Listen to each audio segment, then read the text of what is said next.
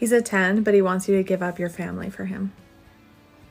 He's a 10, but he expects you to worship him on your knees morning and night. He's a 10, but he's actually invisible, so you can't see him anyway.